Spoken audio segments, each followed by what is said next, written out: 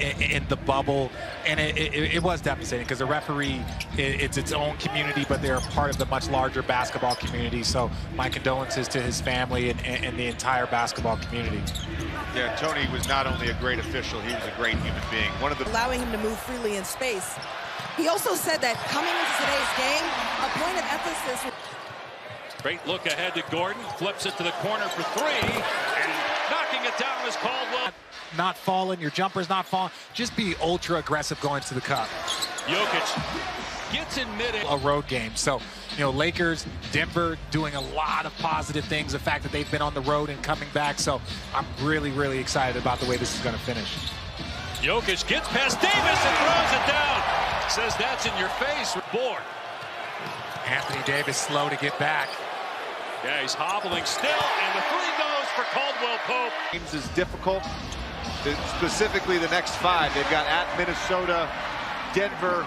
The lead is 10, matching their largest lead of the night. Jokic is open underneath. Gordon finds him, and Jokic with the. And unlike a lot of guys who've come back from a long-term injury, Michael Porter Jr. looks like the guy that we knew before his injury is Jokic making three. He's made 16 threes, which Murray in transition. Trying to get his legs back after missing a year and a half. Nifty move. Jokic had barely made it past half court, and George shot a step back or sidestep three there as Anthony Davis scored things on the basketball. Yeah, and he's going and he's going toe to toe with Jokic right now. What a pass! And Jokic finishes. If J Jamal Murray returns to the Jamal Murray three inch. Green finishes and, and one. To hit three-point shots, they're four for 19.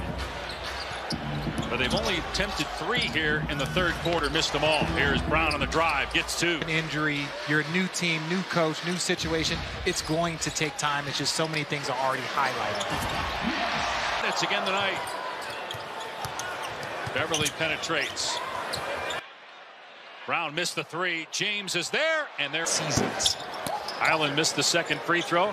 Here's Beverley with a second left. Gets it away in time or no? It was still in his hand. It would not have counted.